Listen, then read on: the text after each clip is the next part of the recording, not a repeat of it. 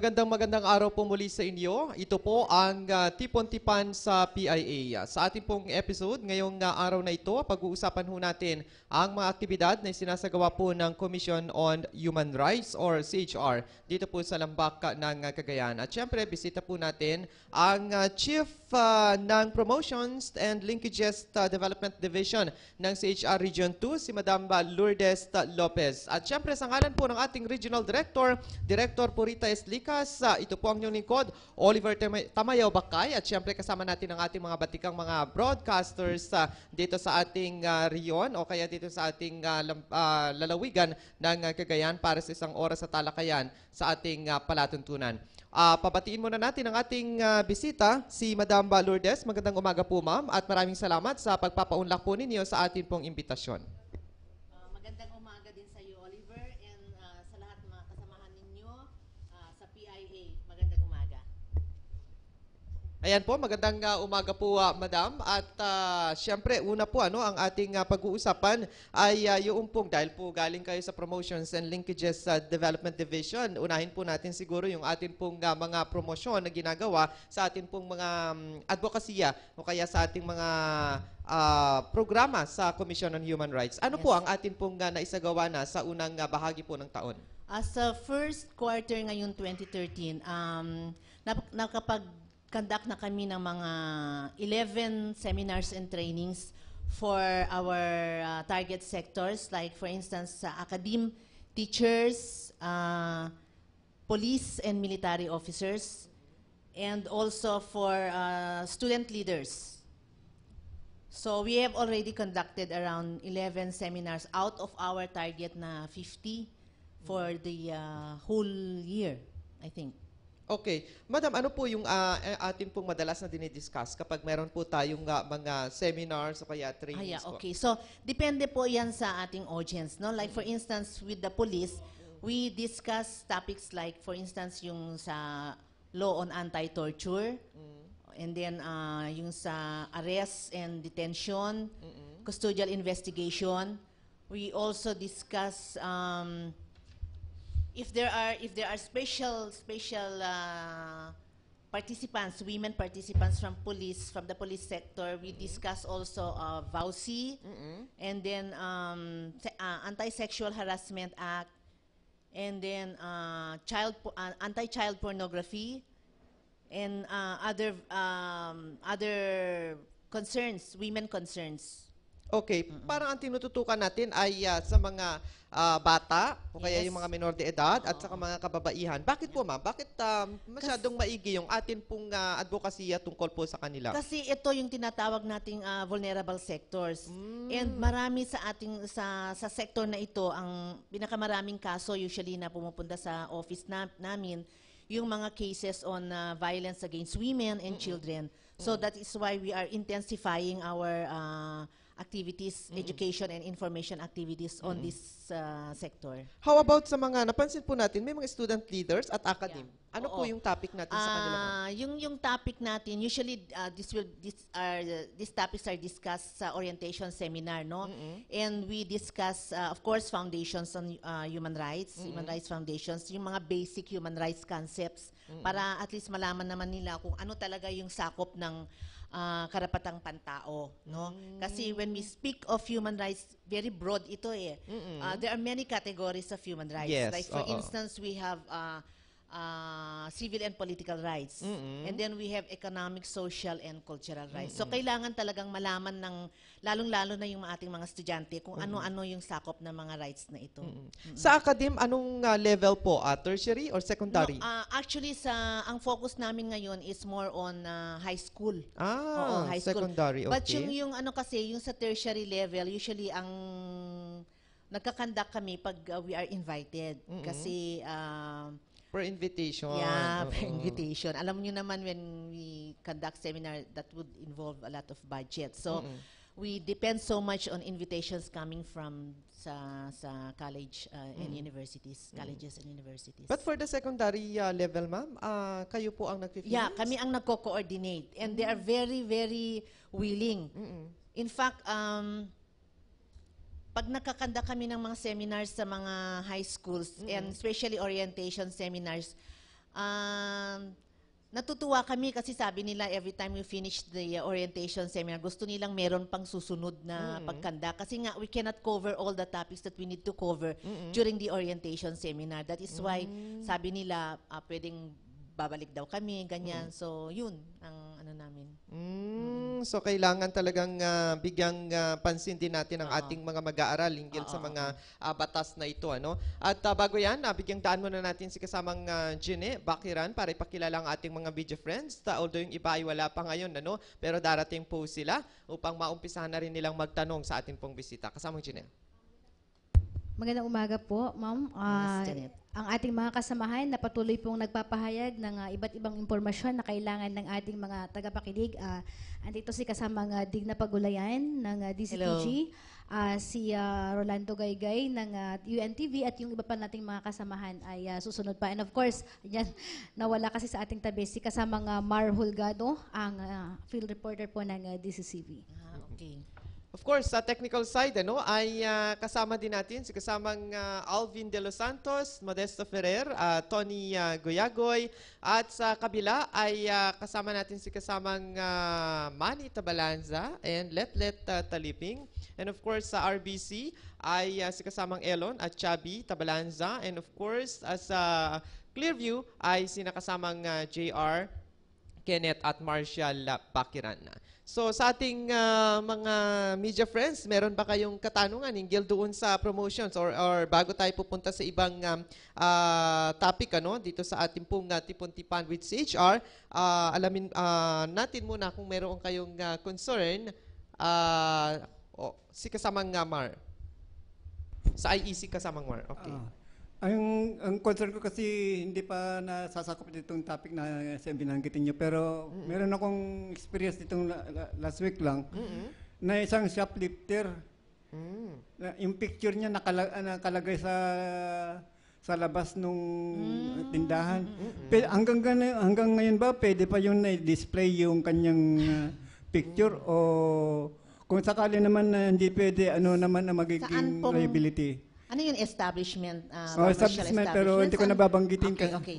So actually, hindi po pwede yung ganun, no? Yung i-display mo, kahit na nahulian yung isang tao Oo. na nagsha-shoplift, hindi po pwedeng i-display yung yung picture Pictures niya. nila. Kasi that would be a violation also of her uh, uh, integrity as a person. Maski na sabihin natin talaga na ano, ano yan, ah, shoplifter. Ang gagawin na lang dyan, no?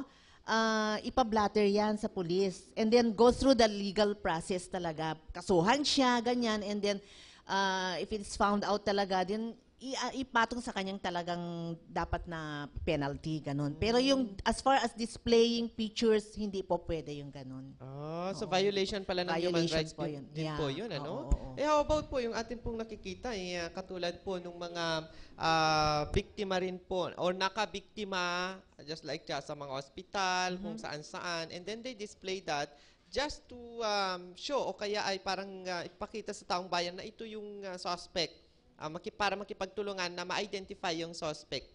Is that Ah, allowed you po, ma'am? mean- or violation pa rin po siya? You mean to say, kung halimbawa may suspect sa hospital, Opo, tapos oo.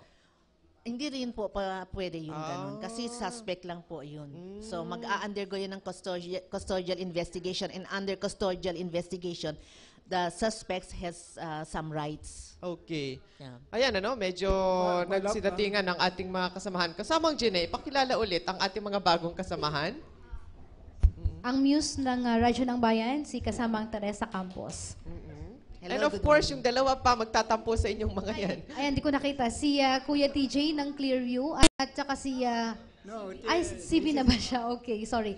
And ah, si ah, Mr. Edmund Pancha ng ah, CV. Oo. Actually, ah, napakaraming ah, outlet naman yan. Si Kuya TJ ay ah, stringer din ng GMA and of course DWIC correspondent din si kasamang Edmund Pancha. Pinag-uusapan pa lang po natin yung promotions o yung trainings and seminars na kinakandak ng Commission on Human Rights. Mamaya po sa ibang ah, topic. Ah, merong follow-up questions. Ah, kasamang, follow up lang. ah. Kung sakaling na ayaw ma- sumunod yung establishment ng Natanggalin. natanggalin, ano po ang magiging... Pwede well, mag-report po counter. yung, yung ano sa, pwede silang pumunta sa office namin para we can investigate that case. Ah, Then- pwede rin siya magsampa kung Yeah, yeah, halimbawa yeah. ng reklamo. Oo, we can help the complainant to file uh, charges. Or, Thank you. Okay. Si Follow up. kasamang Ma'am, Jeanette. parang yun, syempre mahihiya po yung tao na yun na pupunta sa inyo para Oo. mag...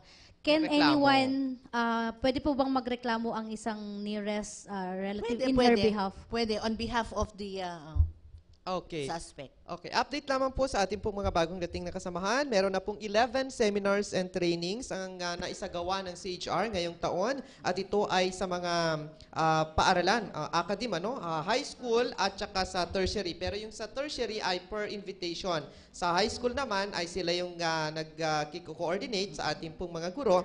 At ah, sa mga pulis din, ah, sa military at ah, student leaders. At yung topic nila ay ah, law on anti-torture, arrest and detention, ah, custodial detention, tama ma'am? Custodial investigation. Investigation, VAUSI, and uh, anti-sexual and anti-child uh, pornography and others. Uh, more on women and children's rights. So yun yung ating uh, unang topic ano.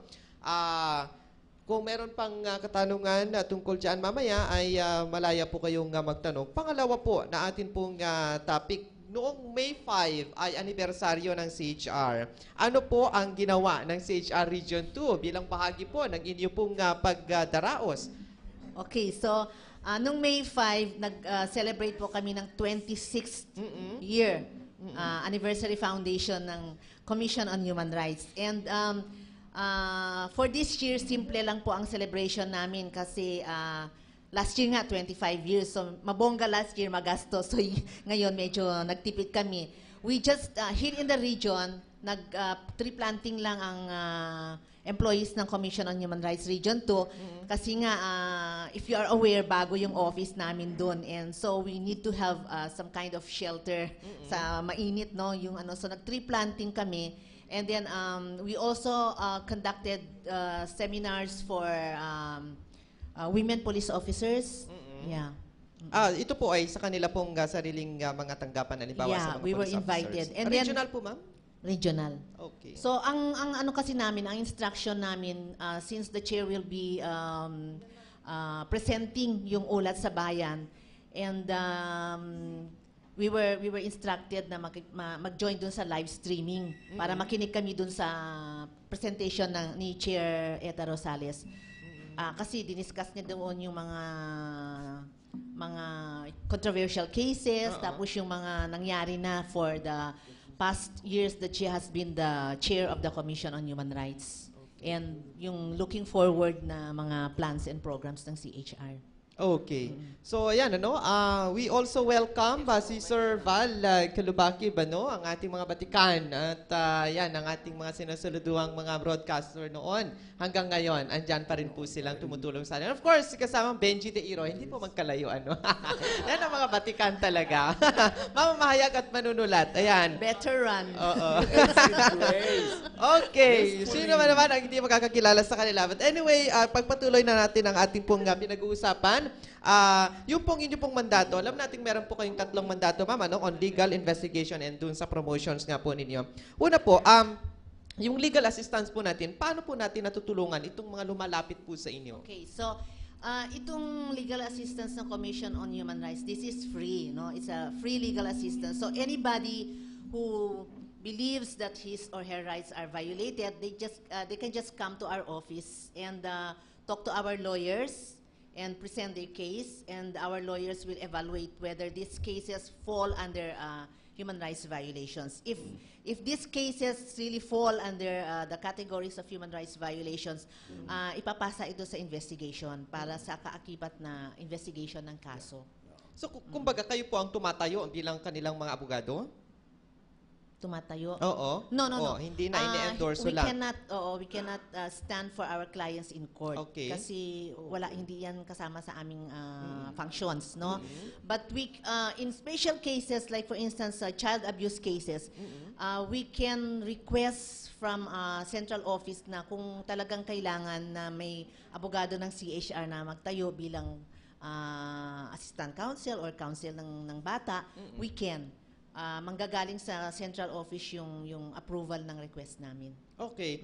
Ah, meron din ho kayong ah, ibang ah, mga assistance ano na ibinibigay Yeah, sa ating oo. mga biktima. Actually, ano mga uh, yun, ma'am? we also have, uh, siguro alam na ng publiko ito, no? we have financial assistance. Ang financial assistance program namin, uh, maliit lang, no? but um, for every victim of human rights violation, pag ito'y napatay, for instance, ano, uh, bibi- binibigyan namin ng 10,000. Hindi ito masyadong malaki, pero parang pangtulong lang kumbaga sa biktima uh, sa for immediate um, assistance, no? And then we also give financial assistance dun sa mga um, those uh, residents caught in the crossfire. Kung merong military operations, uh, may resident residents na they are caught in the crossfire. Uh, nagbibigay din ang commission ng ng financial assistance para sa kanilang medical medical assistance. Paano po ninyo ina-assess, ma'am, itong mga um, binibigyan po ninyo ng Uh, financial they can assistance? come to our office and they should uh, present to us several documents no like oh like for instance kailangan meron silang unang-una merong uh, blotter or investigation report of the incident Mm-mm. oo and then kailangan meron din silang yung yung birth certificate ng ng victim Mm-mm. kung may, kung married siya, of course, may kailangan meron siyang um, uh, marriage uh, contract. Tapos yung kanyang uh, ano ba yun? Residence that she is a, a bona fide resident of uh, Okay. that place ganun. And then kung meron din siyang mga optional na lang yung mga photographs ng ng mga wounds or yung yung mga yung cadaver. Ah, so kailangan nilang guys submit lahat po Oo, 'yon. oo, Ah, oo. kung meron pong ah, hindi may submit dun sa mga major requirement, ah, hindi po sila makakwalify. Ah, hindi naman kasi ah, ini-investigate din ito eh. So we Ah, still have to investigate the case and kung merong mga kulang na requirements later on na lang yan pwedeng i-submit later on para supplement. Okay, si kasamang Tere at susunod si kasamang Benji. Thank you kasama Oliver. Good morning po, ma'am. Ah, good Ah, morning. ngayon pong malapit na ang pasukan.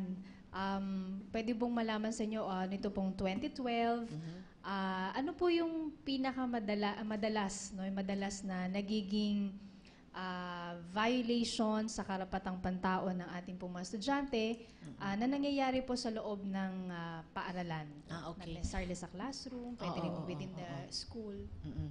So actually maraming mga kaso noon no. Uh, it's um, it's good that now because of our advocacy program, our continuous uh, advocacy program and orientation seminars sa mga teachers and um, uh, student leaders, uh, there is now a downtrend downtrend doon sa pag-abuso ng mga bata sa school environment. Oo. Kasi usually, noon, nung hindi pa masyadong na ah, na-orient ang mga teachers sa mga iba't ibang laws, no? Especially RA 7610. RA 7610 that is uh, uh, special protection for the Filipino children, no? Against child abuse. So, nung naging malawak na yung aming advocacy, parang wala na kaming nare- nare-receive na complaints uh, on child abuse na ang ang ang teacher ang respondent no ang ano naman ito ang negative negative na aspect nito on the part of the teacher mas lalo daw nagiging abusado yung mga bata dahil doon sa pag-train namin ng pero, pero actually it's not eh hindi hindi nagiging abusado yung mga bata kasi ang tinetrain lang pag tinetrain namin ang mga teachers ah dinidiscuss namin yung mga laws, no?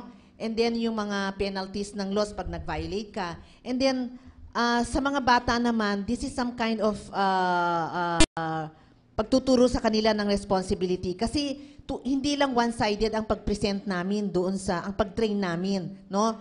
We also have to emphasize kung ano yung mga obligasyon ng mga estudyante. Sinasabi namin na hindi porke meron silang karapatang pantao, eh gawin na nila kung anong gawin nila. Kasi hindi rin pwede yung ganun. Lahat tayo meron tayong karapatang pantao. Lahat, pati mga teachers. Kasi sinasabi ng mga teachers, Ma'am, paano na kami? Ano din yung mga karapatan namin? Kasi wala na kaming magawa, lalo na kung magko-complain yung mga bata. Eh, paano na yung pagdidisiplina namin sa kanila? Sabi namin, we don't take away from you your uh, obligation to or right to discipline the children. Especially kayo din, mga magulang din. No? That's why, uh, ang ine-emphasize lang namin, wag lang yung masyadong yung talagang ah, yung yung pagdisiplina pagdisiplina nila ay yung talagang excessive na. Kumbaga makikita mo na yung may mga marks, merong psychological ah, abuse, mga ganun, no? So kasi dinid- ini-investigate yan eh. Hindi naman porke sinasabing i-investigate mo na yung teacher, automatic na siya na madidismiss. It will still have to go ah, through the due process of law. Oo. Okay. A follow-up, si kasamang uh, Tere. Yes, ma'am. For news purposes lang po. Last year, ah, as in zero po tayo. Wala ho tayong na-receive Wala na eh. mga kaso. Wala. I don't I don't have the statistics with me but uh, I can safely say na wala. Wala. Yeah. Okay. Hindi ko lang alam ha kasi it's not because it's not reported that we don't have cases, di ba? Kailangan kasi talaga na itong mga ba, ah, mga ah, biktima siguro kung minsan natatakot din sila, no? That's why we are encouraging them, no, na punta sa sa office namin para mag-report. So we're not actually saying na zero. Oo. Wala Well, lang hindi lang i-report. reported. Oo, unreported Okay, lang. yeah. Sige, kasama Okay, a question ito ni kasamang Amunding pero nahihiya daw siya. Ma'am, akano ano daw nyo si station manager na Isa Lopez? Joke. Joke lang yun. Siguro For ano yun? First degree siguro, pero hindi ko. Okay. No, no, no. Actually, I'm not related. okay, yung question ko, Ma'am Lorlin. Yeah. Um, there are so many laws, no? Uh, protecting the children, protecting women, Yeah, protecting yeah. everybody. Yeah. And then here comes CHR. Hindi ba tayo nag-i-interlap sa functions? With other agencies? Yes. No, actually, no. Uh, I, I think this uh, CHR is supportive with the programs of other agencies. And likewise, ganun din yung mga agencies. Kaya nga meron kaming tinatawag na interagency cooperation. Oo. Oo. Was there a time na ito, halimbawa, abused uh, women ito, no, na women na abused sila, and then pumasok ang DSWD, for example, pumasok din ang CHR? Mm-mm, Were there pwede, cases pwede. na ganun? Kasi Ah, in okay. fact, ah, yung, yung ano namin, yung coordination and referral program, kung merong pumupunta sa office namin na mga biktima ng pang-aabuso, like well, women, no, and children, and sakop ito, alam naman natin na sakop ito, no, ng DSWD. Nire-refer namin yung kaso sa kanila. So ito, ang, ang sa amin naman, ah, legal aspect. Oo. And sa DSWD, yung, ito na yung, yung ah, other, yeah, intervention Oo. measures. Mhm. Yeah. Okay, ah kasi pa- meron ding regional interagency councils, Yes, ah, pati sa oo. human trafficking, Oo, oo. pati dun sa abuse na women, eh, ang dami pong agency na Yeah, involved oo, po oo. dyan. Let's uh, welcome din nga Miss Sandy Azurin of uh, DZGR Bombo Radio Tikikaraw. Okay, sino pa po ang uh, meron pong katanungan? Yes, kasamang uh, TJ. Good morning to everyone. Ma'am Lulu, Lulu, kao na lang si Lourdes Lopez eh. Ma'am, ah, Ma'am, dun sa nangyayari po sa atin, lalong-lalo po yung ah, allegedly na may nasasangkot po na PNP, yung pong bakbakan, encuentro, kuno, do, Ah, ay, yung allegedly incident? encuentro sa may Peña Blanca. Ano pong update po doon? Peña Blanca? Opo, ma'am. Di, ah, Anong- anong past two years na po ata yan. Oo. Ah, meron pong Police? encuentro doon. Ah, you're Oo. referring probably to that, ano yun, yung kaso ng, ano ba yun? Oo. Oo, PNP police. la- Oo. laban sa ano. Nasa central of referred na po sa I think na ah, na, na, na refer na yung kaso sa ombudsman. Ah, yung Abra Boys po, ma'am, sa may lalo. Abra Opo. ah, pati yata yun eh na ano na Nasa siya. ano rin. Oo. Kasi yung yung cases namin when we investigate cases actually we refer this to the appropriate court. So we don't hold those cases. We don't we're not into prosecution of cases. Hindi kami wala kaming prosecutory power. That's why we refer these cases. Pag in-investigate na yan, may resolution ganyan, automatically refer namin sa appropriate courts. Yung latest, Minomonitor na lang namin yung yung kaso kung ano nangyayari sa kanya. yung latest po na nadig po dyan sa Oo, may oo, oo. Kapitolyo. Capitol. Oh, bago lang yeah, po yun. oo. So, actually, yun nga po ang pinuntahan ni Director Baliga ngayon, tsaka yung sa ah, mga investigators. Kasi, ah, na-refer, na, na-refer din sa office namin yung case na yun and we have investigated. It's still under investigation. And ah, in fact, yun nga ang biyahe ng director namin ngayon para ma um, ma-exhume yung yung isa sa ah, isa o dalawa dun sa mga Apat, apat pa. apat yung taga-alakapan. Actually, hindi kasi ah, ako ah, aware dun sa mga cases na yun. ah, not so much on the details of the cases kasi ito yung ano ng ng ng investigation and legal. Eh, yung pong mga kalagayan po ng mga kapatid po natin na IPs sa may Palawi Sa Island. Palawi, oo. Ah, isa din yun sa case na ano namin na in-investigate. Actually, ah, investigative monitoring ang ginagawa namin dito. Kasi ito, ah, I think, ah, sa DANR, ang ano nito. And we're trying to find out whether there are really violations committed against the indigenous peoples doon sa area na yun. And eh, in case meron, um, I think we will we will uh, again investigate this and then refer this to central office for further ano Okay, So, so... aabot oo. po ma'am ng ano, dahil six months po ata yung ah, American survivor po doon. Oo, six Oo, months yeah, po yeah, na yeah, na, oo. oo. Mm, survivor. So, mga ilan months po na na yung pang investigation po natin doon sa may Palawi? Continuing yan eh hindi ba natatapos kasi actually uh, Mr. Mr. De Iro si Benji may may report may report na kaming sinubmit oo Ongoing pa lang yung Yeah, uh, magdadagdag lang ako. Oliver. Yung case ito is, uh, this is the case ng uh, indigenous peoples nga sa Palawi, wherein uh, they feel na violated yung mga rights nila. As of now, ayaw, ayaw ng survivor team. This is a British reali- reality uh, show, no?